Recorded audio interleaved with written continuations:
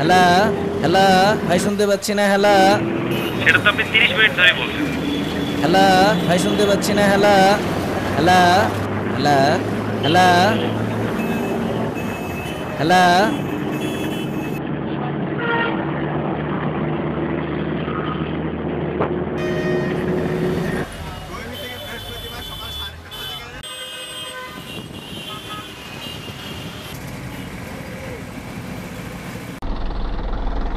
ওই driver bus চালাইতে জানো ওইভাবে কি ব্রেক করে।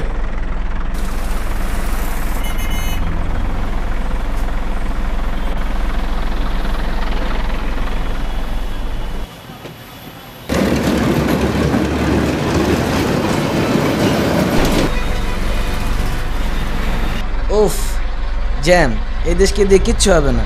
ফ্লাইওভারের কাজটা কতদিন ধরে চলছে? ফ্লাইওভারের কাজটা তাড়াতাড়ি শেষ হয়ে গেলে কি আমাদের এরকম জ্যামে আটকে থাকতে হয়? কাজ কীভাবে শেষ হবে? সবাই তো নিজের পকেট ভারী করার কাজে ব্যস্ত। তো আমাদের সাধারণ মানুষের ভোগান্তি কি সরকার, মন্ত্রী আমলারা বুঝবে? যত সব চোর বাটপারের দল। আমি যদি এই দেশের প্রধানমন্ত্রী হইতাম, তাহলে চোর বাটপাতদের কাজ দিতাম না। আর প্রধানমন্ত্রীর ওই চেয়ারে যদি বসতাম, কখনোই ক্ষমতার অপব্যবহার করতাম না। দেশটার পুরো মালয়েশিয়া বানাই দিতাম। আর দেশের কপালটাই খারাপ যে আমি ওই জায়গায় নাই। আমার সোনার বাংলা আমি তোমায় ভালোবাসি, তোমার এই দুর্দিনে আমরা বিড়ি খাই আর কাশি।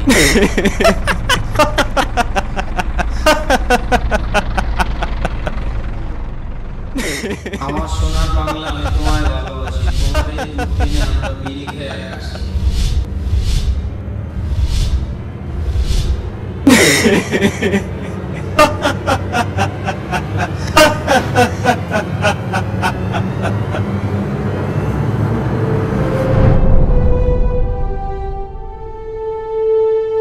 শপথের জন্য প্রস্তুত।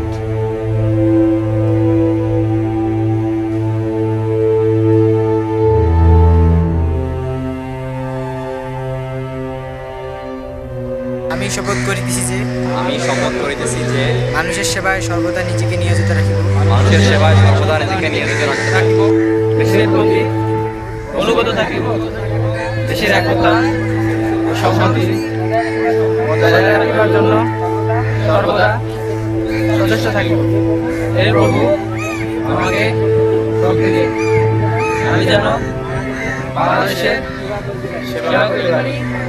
এবং বাংলাদেশের একটি শক্তিশালী রাষ্ট্র হিসেবে গড়ে তুলতে পারি।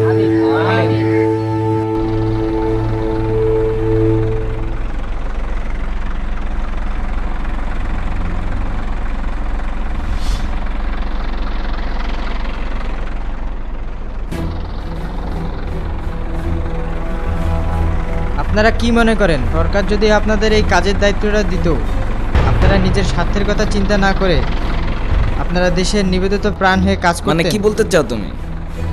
আপনাদের সামনেই একজন জাতীয় সঙ্গীতকে বিকৃত করে গাইল। আপনারা সেটার প্রতিবাদ না করে উল্টো হেসে উড়িয়ে দিলেন। আপনারাই বলছেন আপনারাই দেশের জন্য নিবেদিত প্রাণ সত্যিকার দেশপ্রেমিক। কীভাবে?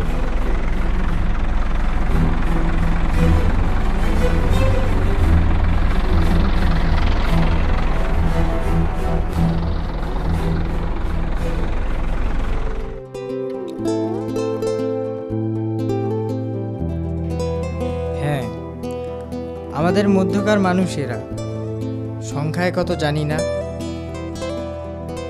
তবে যারা বিবেকবান, তারাই বা কেন চুপ? নিজের স্বার্থ তো সবাই দেখে ভুলে যায় দেশের স্বার্থটাকে। কিছুই না, সবাই সবার জায়গা থেকে দেশের কথা চিন্তা করলেই হয়। এর জন্য সরকারের দ্বারস্থ হওয়া লাগে না।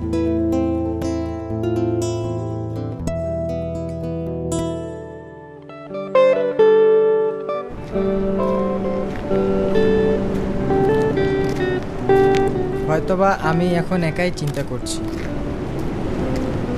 কিন্তু আমি জানি, আমার মতো করে অন্য কেউ অন্য কোথাও এই চিন্তাই করছে।